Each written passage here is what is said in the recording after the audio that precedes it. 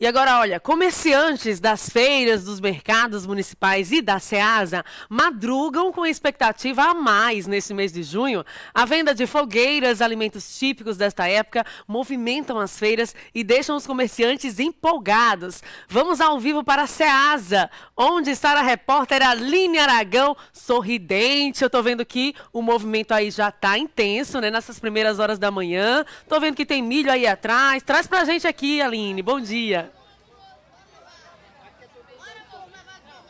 Muito bom dia, Tamires França, e bom dia você que assiste ao Sergipe no ar. Depois eu conto, viu, Tamires? Depois eu conto o motivo do riso. Mas me acompanha aqui, ó, porque já é grande a movimentação aqui na Ceasa. Desde o comecinho da manhã, muita gente aí preferiu antecipar as compras, né, para evitar aí enchente amanhã no sábado, que é a véspera do São João. Eu vou conversar com o Robson, que está aqui. Tá levando milho, mas o quê? Milho, vamos comprar amendoim. E você que está aí assistindo essa reportagem, aproveite, viu? Porque se hoje está cheio, amanhã vai estar tá pior, viu?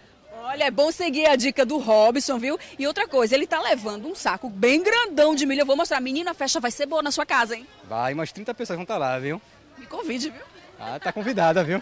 Muito obrigada. Vou conversar aqui com a vendedora. Você deixa eu passar aqui, por favor? Muito obrigada. Vem cá, me diz aqui quanto é que tá a mão de milho. Não fuja não, mulher. Volta. Vem cá. Quanto é que tá a mão de milho? Bom dia. 25. 25. Tem choro? Tem, né? Como é o nome da senhora? Sandra. Como é que tá o comércio aqui já nesse comecinho de manhã? Tá bom. Muito bom mesmo. Acha que vai melhorar? Acho.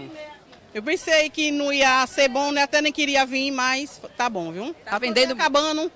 Só, o milho dela já está acabando, então você que está assistindo aí, corre para cá, mas tem muito milho no Ceasa, não precisa pressa não, vem com calma, SMTT está lá na frente já organizando o trânsito. Sandra, muito obrigada, viu, pela sua participação, mas como o Robson falou, ok, é melhor antecipar, porque amanhã, se hoje já está assim, amanhã ó, vai piorar, agora vem para cá, vem para cá, me acompanha aí, Fábio, cuidado para não escorregar no milho, vamos mostrar aqui o outro lado, porque tem uma iguaria que não pode faltar também na mesa de São João, ó, o amendoim, o fogozinho, né, o famoso fogozinho. Pera aí que tinha alguém para falar comigo que fugiu.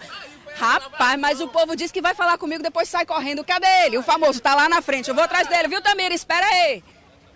Chega, fazendeiro do amendoim, corre! Vem vender seu amendoim, é a hora é agora! Quanto é que tá o amendoim? Ah, enquanto ele chega, me diz aqui, quanto é que tá o amendoim? Não, não sei não.